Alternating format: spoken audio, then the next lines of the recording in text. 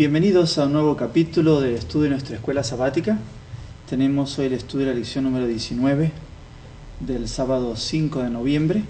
Pero antes de ello, eh, queremos dar bienvenida aquí a la hermana Raquel, que nos Gracias. acompaña con la lección. Y también queremos pedir la dirección de Dios a través de una oración silenciosa.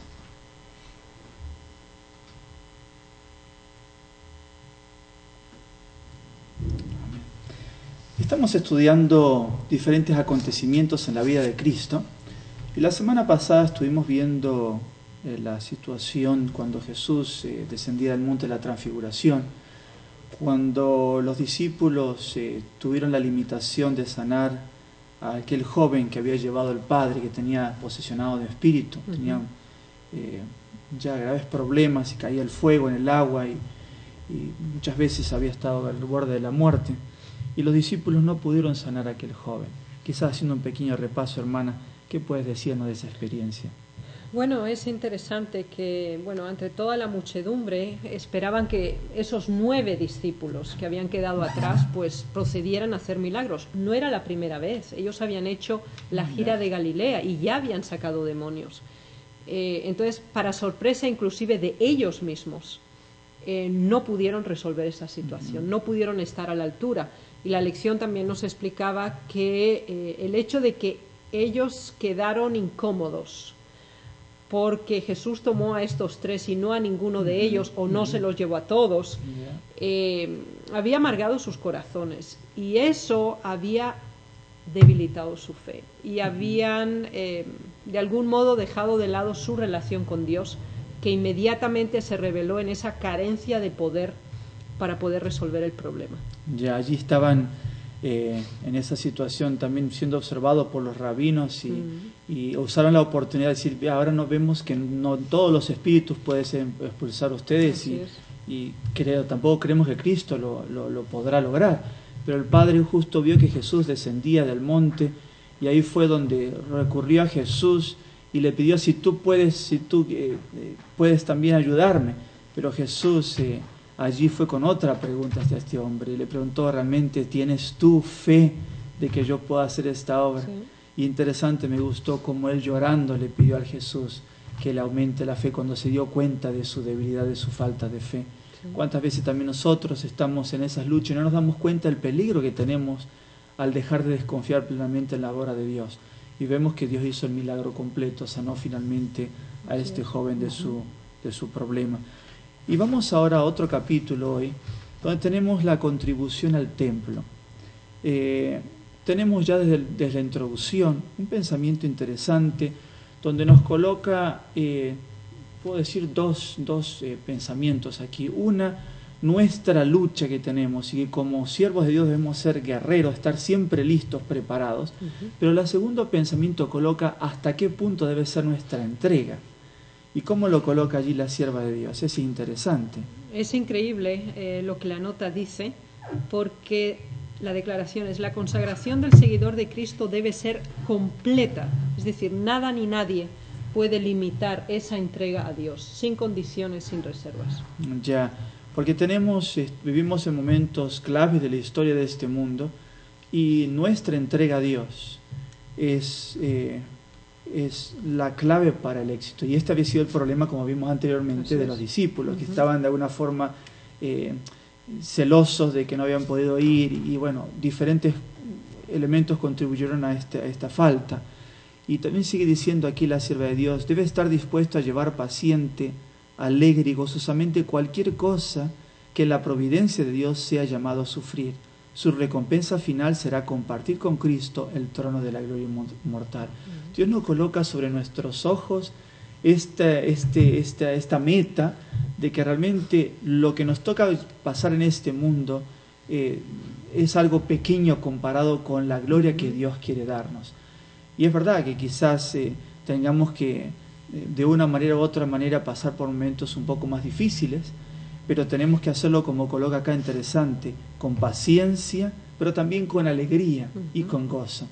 Porque el servicio por Dios y el servicio debe ser una gratitud por la obra que Dios ha hecho en nuestra vida. Y vamos a verlo ahora en, en esta gratitud, en este gozo, eh, relacionado a la contribución del templo y hasta qué punto también hoy nosotros estamos dispuestos a entregar todo, entregar nuestra vida completamente al servicio de Dios. Y vamos a la primera parte, al requisito, dice nuestra lección. ¿Qué se requería de Israel, de los hombres que eran considerados responsables del tabernáculo? Hermana Raquel, ¿qué puedes comentarnos? Bueno, aquí tenemos dos citas. Tenemos la de Éxodo 30 eh, y la de Éxodo 38.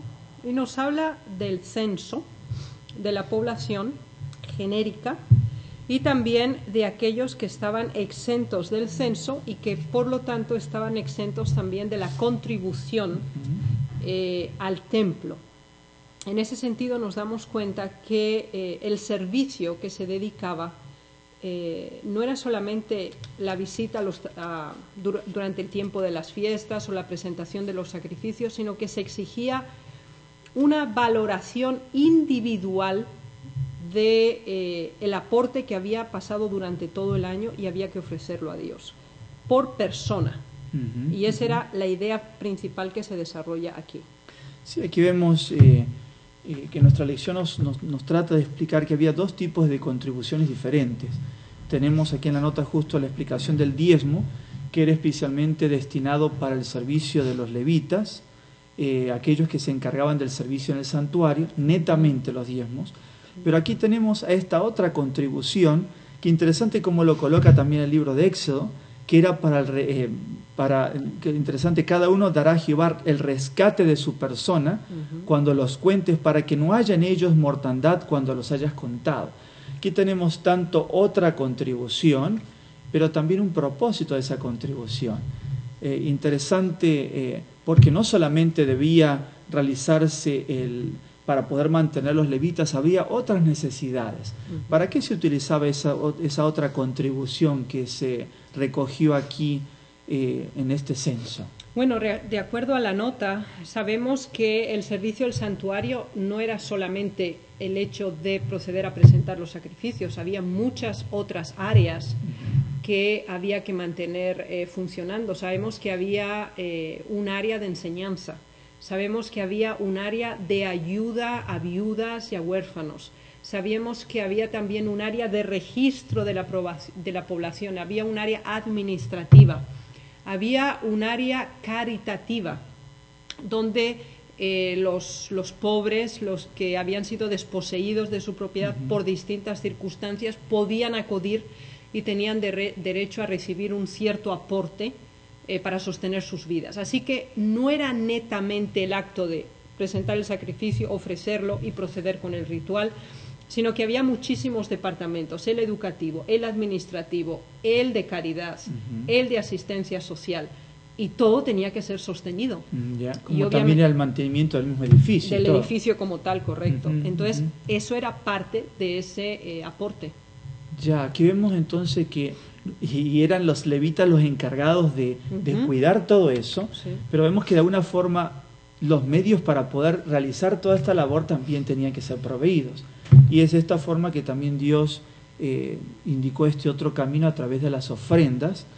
Eh, y, y, que debían, porque habían siempre pobres, necesitados, siempre los hubo en el pueblo de Dios, como también lo tenemos hoy también tenían, como tú mencionaste, la parte administrativa, también el mantenimiento del edificio, como también lo tenemos hoy, hay gastos administrativos en la obra de Dios, como también mantenimientos, cuántos templos se necesitan construir casas de culto para muchos lugares donde hay almas y están deseosas de tener un lugar para culto y no se pueden utilizar los diezmos porque son específicamente eh, dedicados para el servicio de aquellos que cuidan el, templo, o vamos a decir hoy aquellos que dedican su obra, su vida enteramente al servicio de la causa de Dios. Pero quiero que quizás comentemos un poquito más el hecho que mencioné anteriormente, que debían darlo por rescate de su vida. ¿Por qué por rescate de su vida? Bueno, sabemos que inicialmente existía la ley de los primogénitos y cada uno que rompía vientre debía ser rescatado.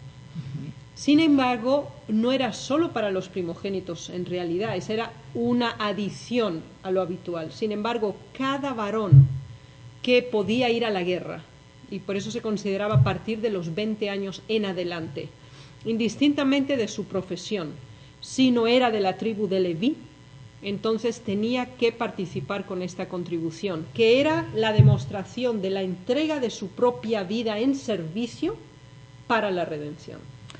Aquí vemos, quiero tomar tus últimas palabras, la entrega de, su propia vida al servicio para la redención. Vemos que los diezmos es el reconocimiento de la autoridad de Dios, que Dios nos ha dado la vida, que somos sus súbditos, pero tenemos las ofrendas como un reconocimiento, como veníamos ya en la introducción, de la gratitud, de la alegría, de también que estamos al servicio de Dios. Y lo vemos que lo podemos hacer hasta indirectamente, ayudando a los pobres necesitados o otras áreas, o, avanzar en la obra de Dios a través de nuestras contribuciones, nuestra gratitud a Dios, como también lo fue en ese tiempo a través de esa contribución que tenía que hacer el pueblo de Israel. Si vamos a la segunda pregunta, ¿se hizo solamente esto eh, en el templo, en el templo durante el, santuario en el desierto. Aquí vemos, eh, la pregunta dice, ¿qué se hizo en tiempos del rey Josías para proveer fondos para restaurar la casa de Dios? Bueno, este rey hizo una reforma muy importante porque el templo estaba casi en ruinas y estaba lleno de escombros y de basura. Sabemos que su padre anterior había sido un rey muy impío, que había hasta colocado altares a dioses dentro del atrio del templo y realmente el templo estaba abandonado. Así que encontraron la ley porque empezaron a limpiar los escombros y entonces se pusieron a leerla y se dieron cuenta que había muchas cosas que había que cambiar. Pero ¿cómo lo iban a hacer? Entonces aquí tenemos la propuesta de que colocaron un cofre o una gran arca y que las personas voluntariamente hicieran sus aportes de manera que pudieran restablecer de nuevo el edificio, restaurarlo, hacer las renovaciones necesarias y que pudiera empezar eh, a estar en servicio todo el culto divino. ¿Y cuál fue la reacción que tuvo el pueblo? Porque este fue el llamado ahora, de coloquen el arca allí, había la necesidad, el templo había que restaurarlo. Eh, tenían, habían pasado muchos años donde no se habían dado cuenta de, o no, de la, del valor realmente que tenía el, templo para ellos.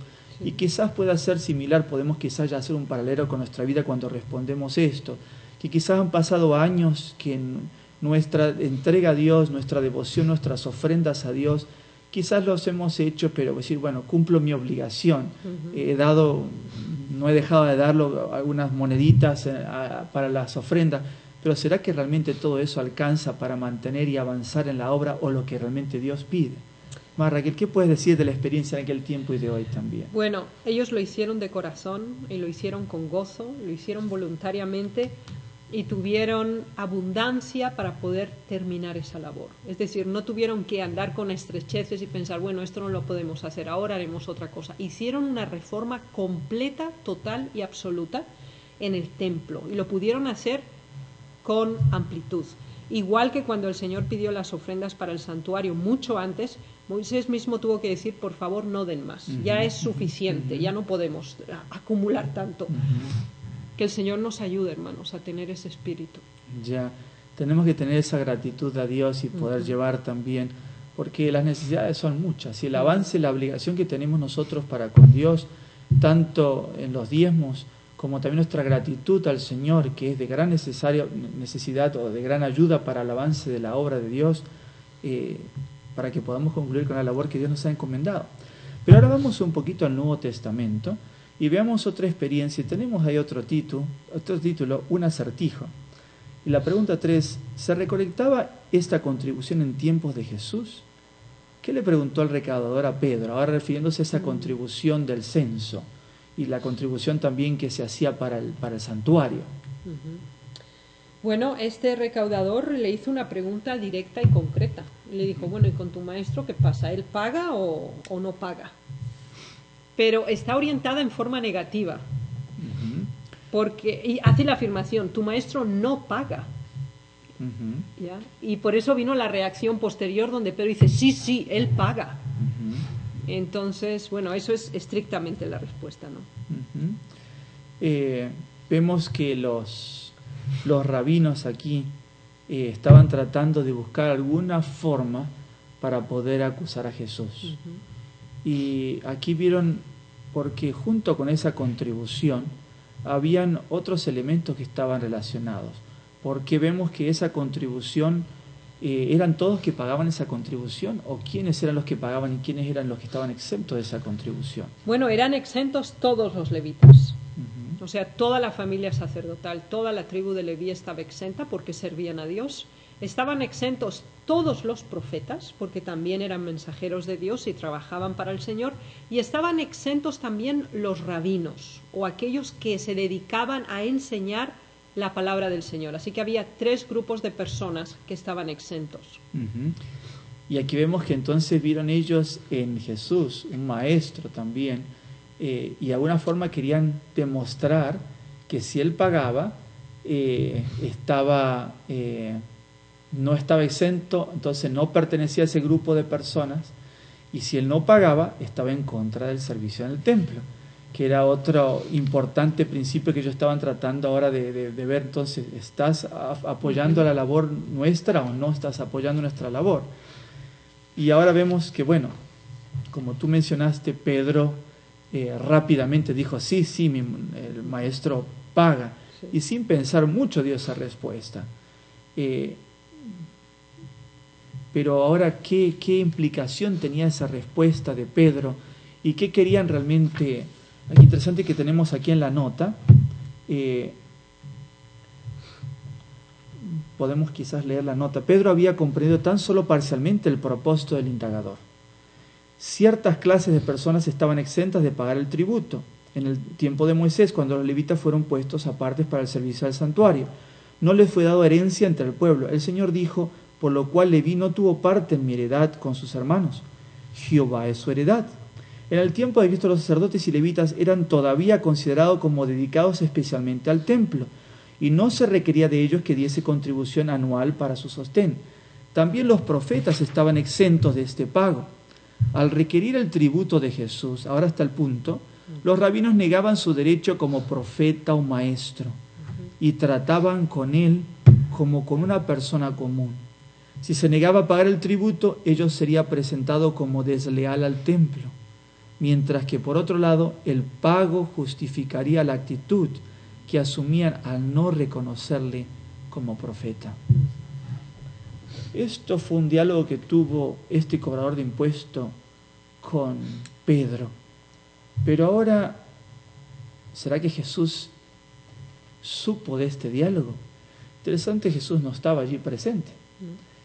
Pero eh, la lección sigue y dice clarificación y solución. ¿Cómo ayudó ahora Jesús a Pedro para que viera las cosas de una manera diferente con respecto a este asunto? ¿Qué sucedió después que Pedro respondió así, mi maestro paga?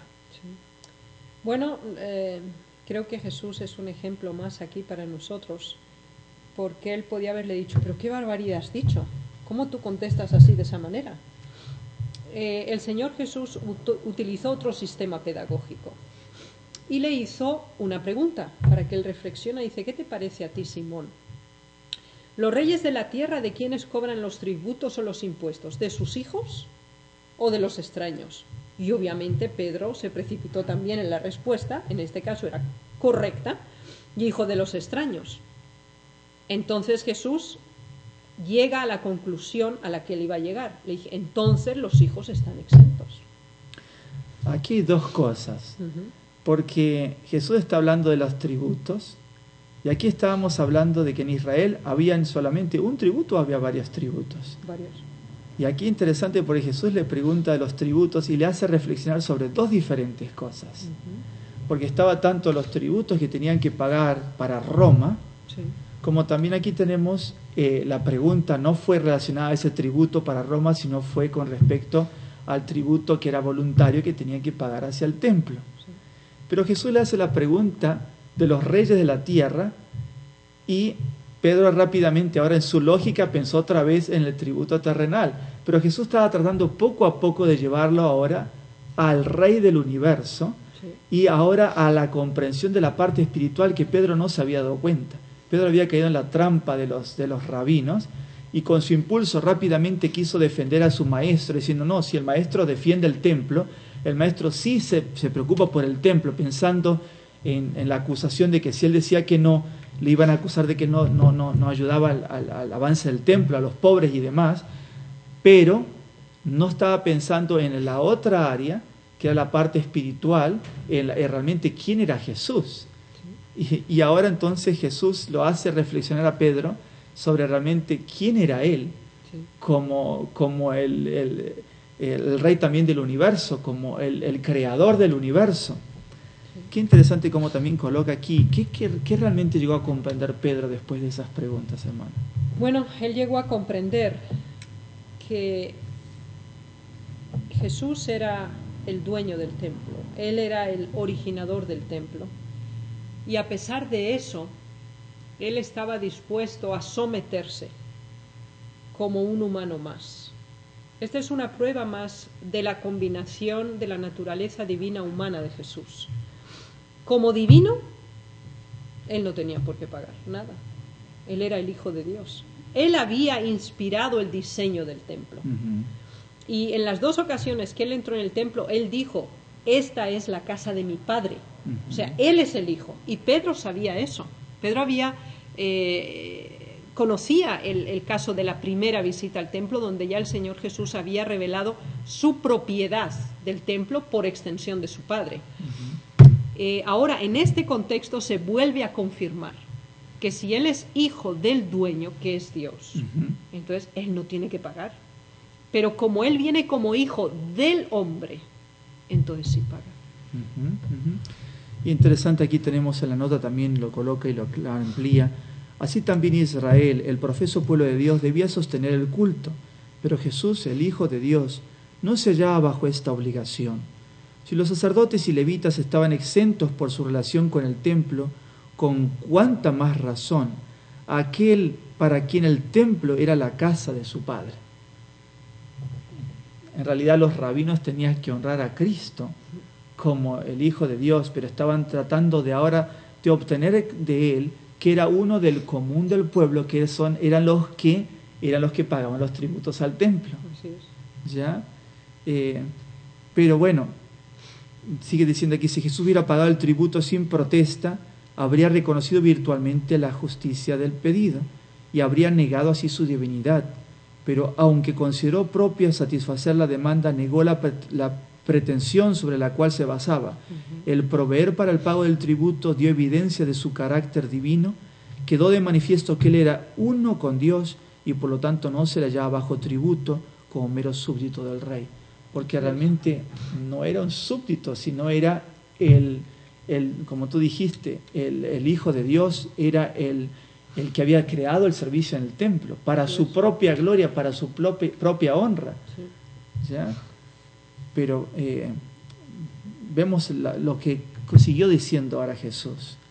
¿Cuál era el principio de Jesús al tratar temas sensibles como este? ¿Qué sucedió después? ¿Qué hizo Jesús? Eh, bueno, tenemos que imaginarnos la situación, porque Claro, Pedro había, había contestado a este recaudador, le ha dicho sí, él lo paga. Pero no lo está pagando. y Pedro mismo no lo había pagado. Entonces, bueno, ahí encontramos un contraste.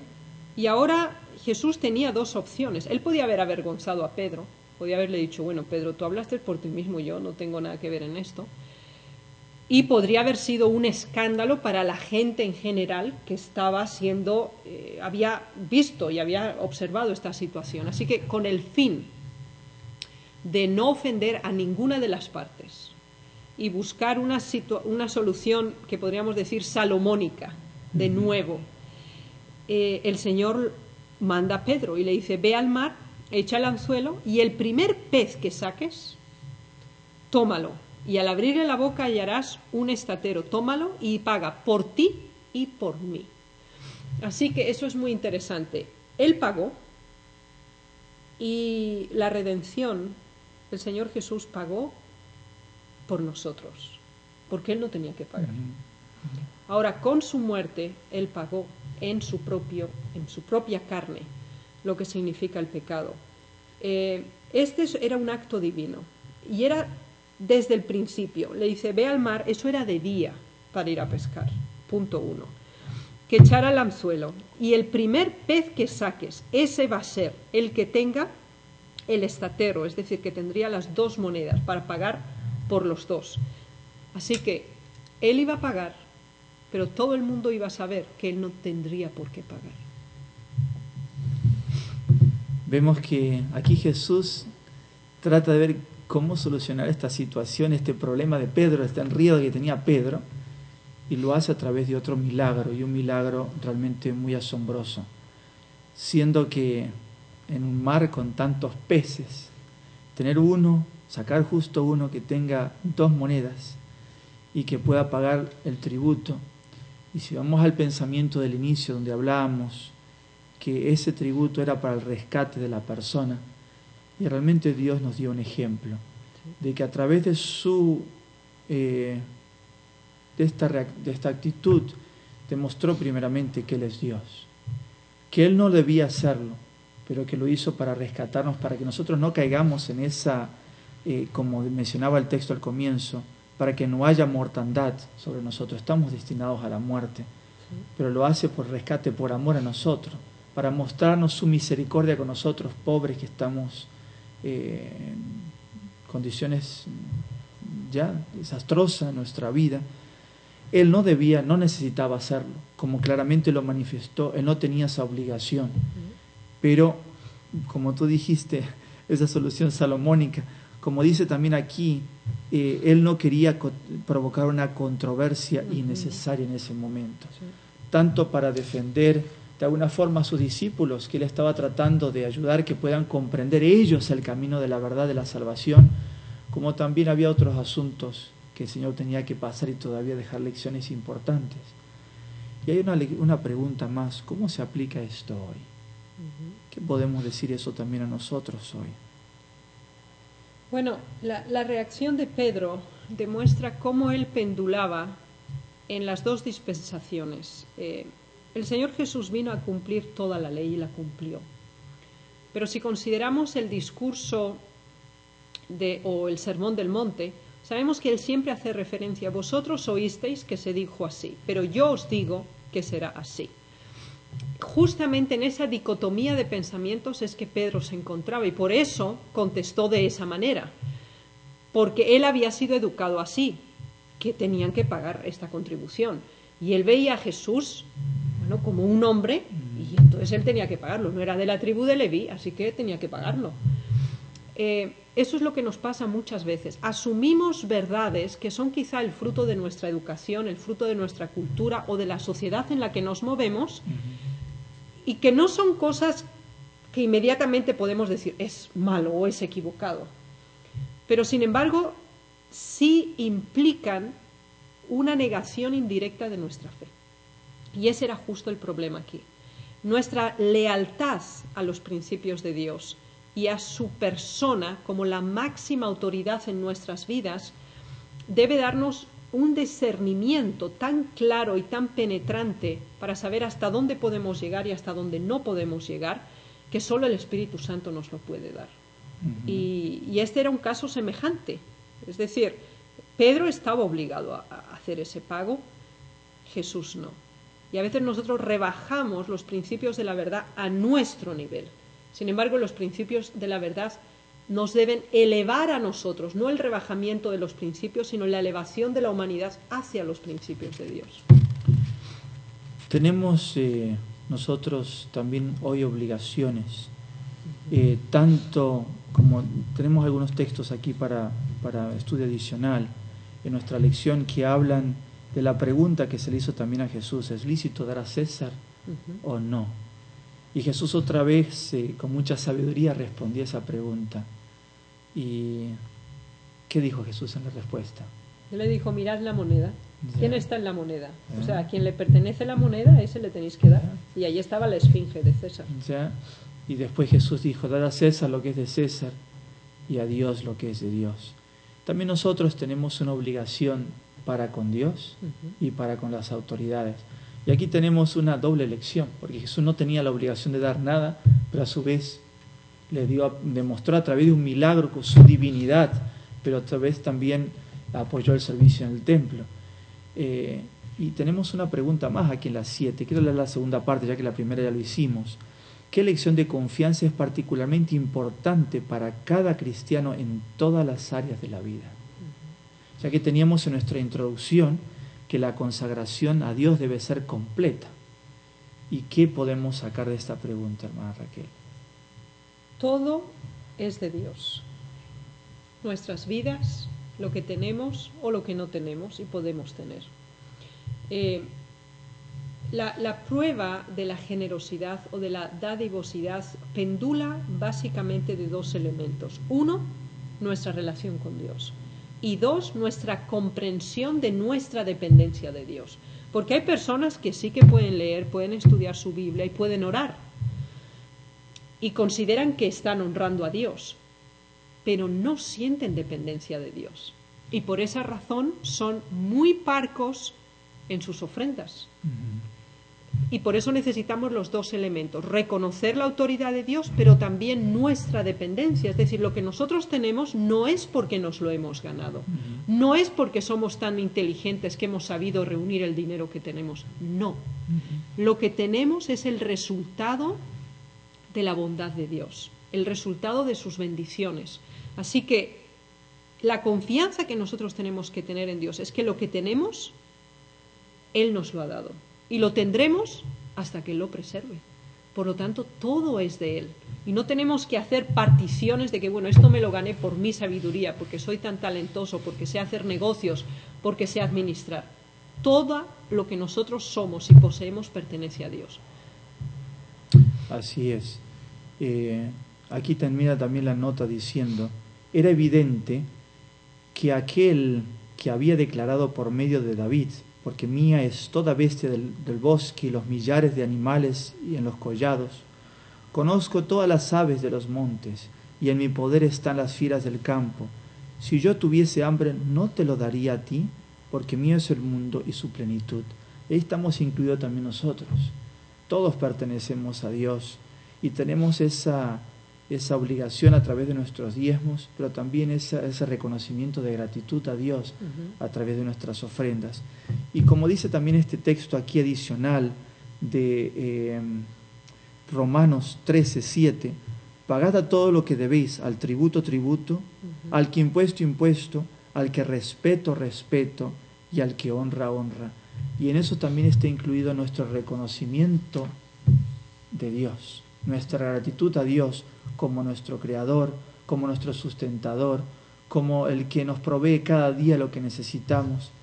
Y es por esto que demos a Dios eh, en nuestra entrega total. No pensemos que a través de reservar ciertas cosas yo voy a poder tener un mejor futuro. No es así. Tan, eh, tantas veces el hombre trata de ordenar su vida de la mejor manera y en un día u otro una catástrofe se terminó todo lo que había recolectado, su propia salud. ¿Y para qué le sirve todo lo que recolectó? Pensemos de que el templo de Dios también, la casa de Dios, su iglesia, necesita tanto a los ministros, los obreros, llevar adelante la verdad del Evangelio a través de nuestras contribuciones, los diezmos y ofrendas, como también hay tantos necesitados, como los, lo vimos ahí en el templo, tantos lugares que necesitan también tus ayudas voluntarias, y aunque Jesús no lo necesitaba dar en aquel tiempo, porque él podía seguir haciendo milagros y proveer como proveyó los panes y los peces, pero lo hizo para darnos un ejemplo también a nosotros, de que aunque él no lo merecía, no necesitaba hacerlo, lo hizo por amor a mí, para que yo también pueda aprender y también por gratitud pueda entregar también mis ofrendas de reconocimiento y de gratitud a Dios. Dios bendiga su obra y que podamos mantener también, no el templo solamente físico, la iglesia, sino la iglesia de Dios, la obra mundial que Dios tiene y que podamos así eh, preparar nuestras vidas para encontrarnos pronto con nuestro Señor. ¿Algún pensamiento final, hermana Raquel? No, yo creo que es una lección tan completa en sí misma que cubre no solamente nuestra relación con Dios, sino también nuestra dependencia. Así que combinemos ambos elementos y entonces nuestro corazón y nuestro bolsillo caminarán juntos. Quiero terminar con el Salmo 107, 43. Quien sea sabio, observe estas cosas y considere todas las misericordias de Dios. Consideremos las misericordias de Dios y agradezcamos a Dios con lo que Dios nos provee. Mi oración. Amén. Concluimos con una oración.